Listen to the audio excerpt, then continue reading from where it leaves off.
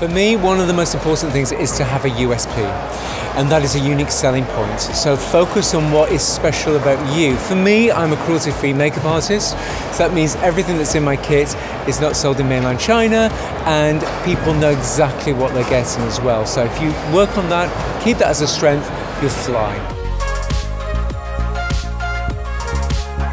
No job is too small as far as I'm concerned because there's always something positive that comes out of that. So even if it's a very, very small fee that you're getting, there's always going to be something positive, whether it's a little bit of publicity, whether it's somebody that you actually meet through that person. You never know where that job could lead. So always say yes to everything. Another thing that's really important is great communication skills.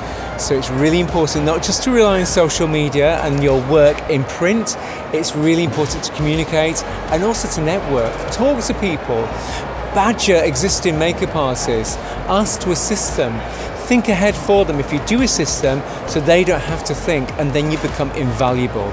That's what I would say.